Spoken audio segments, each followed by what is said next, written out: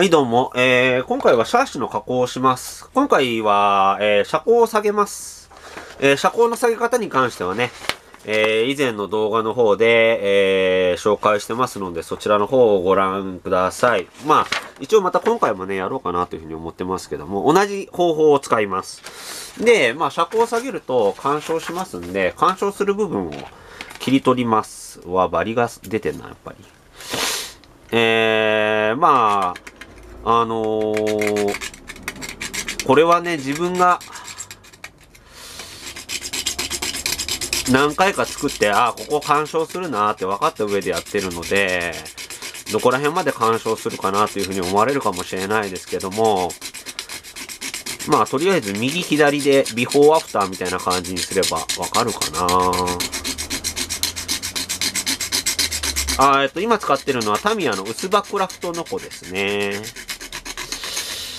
だいたいここ、こういう感じにして、ここの出っ張りですね。出っ張りのところに刃を当ててまっすぐ引いてある、ノコギリを引いてあげれば、えーいい感じのところまで来るんじゃないかなと、いい感じのところになるんじゃないかなと思います。で、ここのね、端っこの部分を、こうやって切ってあげて、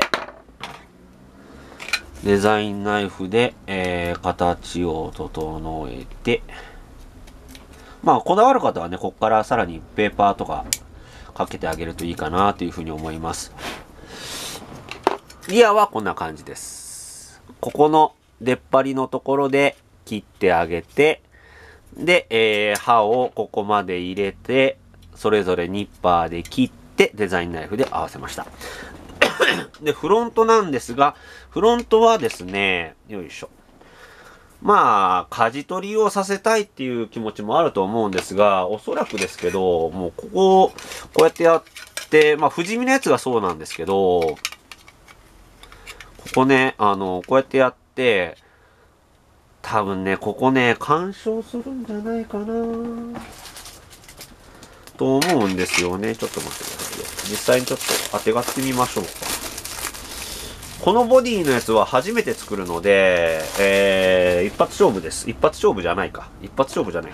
えー、あら。あれ？何？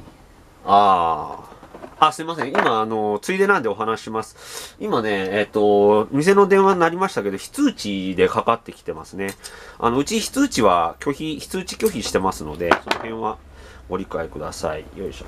もし、あのね、うちのお店に電話していただくっていう方はね、えー非通知設定を解除して送って、あの電話してください。よいしょ。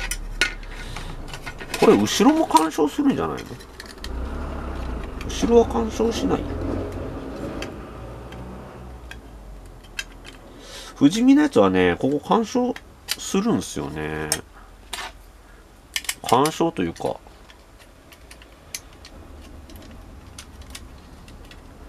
ここのね、舵取りのしようとすると当たるんですよね。ってことは、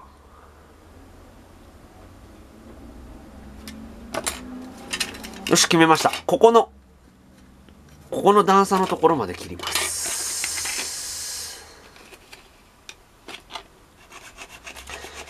えー自分のこだわりというか、ポリシーというか、そういうのでですね、舵取り機構とかは、残せるときは残します。あのー、どうあがいてもこれは残せそうにないなとかっていうときは残さないですけど、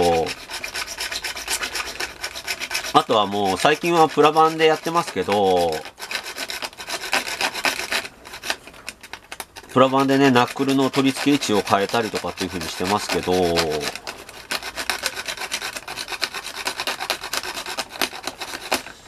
おう。